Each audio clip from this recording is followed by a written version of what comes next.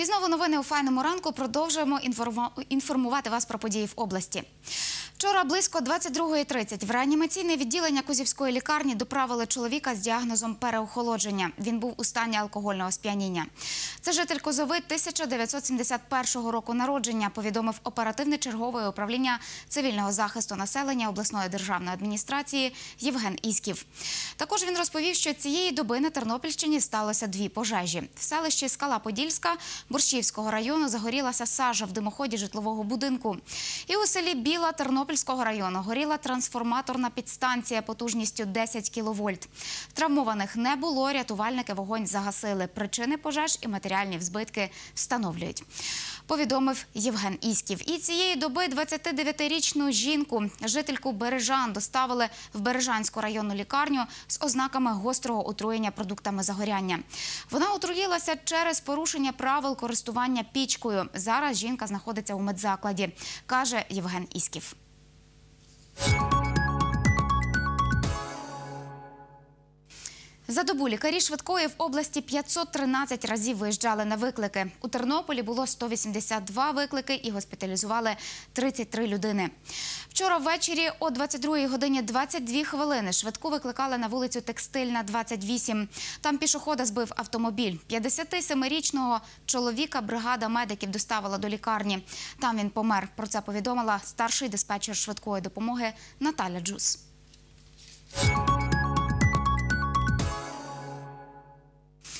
Сьогодні у приміщенні Тернопільської обласної ради, що на вулиці Грушевського, 8, відкриють проект Міністерства юстиції Open Space – відкритий простір.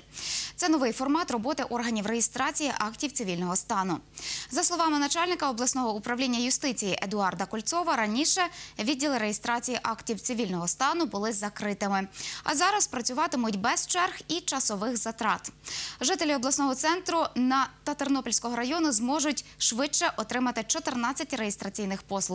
Зокрема, зареєструвати народження дитини, подати, зареєструвати або розірвати шлюб, подати заяву на зміну імені та за потреби отримати всі необхідні документи щодо проведених реєстраційних дій. Як повідомив Едуард Кольцов, сплатити послуги можна буде через термінал. Не потрібно буде шукати банківські відділення. На відкриття системи OpenSpace завітає перший заступник міністра юстиції України Олена Сукманова, зазначив Едуард Кольцов.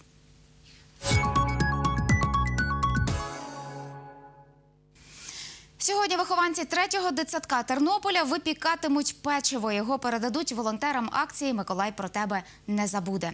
Згодом випічку роздадуть дітям із малозабезпечених сімей та дітям-сиротам. Як повідомила завідувач дошкільним закладом номер 3 Ольга Довбенко, випікатимуть печиво усі вихованці садочку. Це більше сотні дітей віком від 2 до 6 років.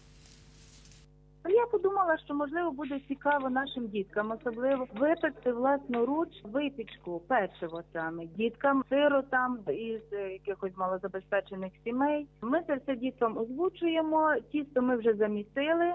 На завтра кожна дитина буде сама розкачувати це тісто, сама вирізати форму тістечка. І за коли діти будуть спати, ті тістечка випечуться, а ввечері діти будуть його розмальовувати айсінгом. І це десь таким чином ми дітей будемо виховувати доброту, милосердя і повагу до ближнього.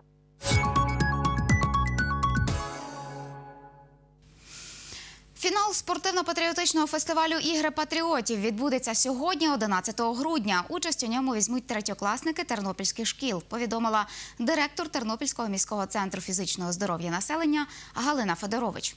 За її словами, змагання проведуть у спортзалі 24-ї школи Тернополя. На 14 годину очікується 8 команд, 8 фіналістів. Це переможці та команди, які зайняли другі місця у зональних змаганнях. Е, Ну, власне, безпосередньо це 27 школа. Це 7, 24, 18 і відповідно інші. Що стосується восьми команд, це вісім найкращих, от які змагатимуться е, у естафетах, змагатимуться у вікторині. Та е, така, така гра називається складання пазлу, де, де залучена уся команда. Власне, змагання проходять вже в четверте. Це четвертий фестиваль. Минулорічні чемпіони були сьома школа. Цьогоріч вони знову в фіналі презентували одну з найкращих презентацій. Будемо бачити, хто переможе переможе, оскільки ну незалежне суддівство визначить переможця. Зазначу, за словами Галини Федорович, впродовж минулого тижня у чотирьох школах Тернополя відбувалися зональні змагання серед 20 команд третьокласників. Фестиваль ігор патріотів започаткували чотири роки тому. Він складається із трьох частин: презентація команди, спортивні змагання та вікторина на патріотичну історичну тему. Повідомила Галина Федорович.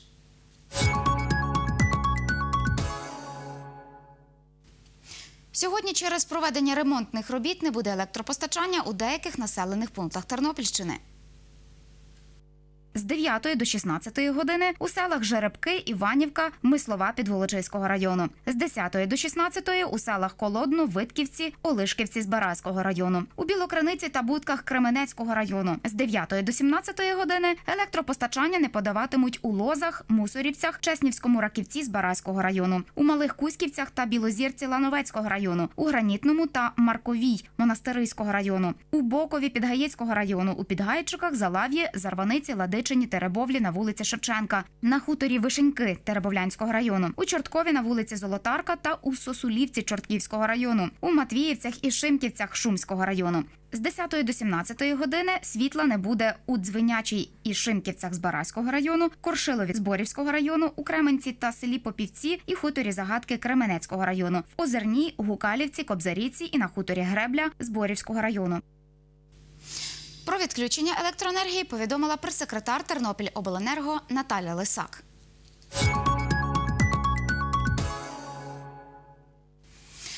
На завершення про позитивне. За добу в Тернополі народилося 14 дітей. В обласному перинатальному центрі матері і дитини, що у центрі міста, народилося 7 малюків, 3 хлопчики і 4 дівчинки, повідомила акушер Марія Дем'янчук.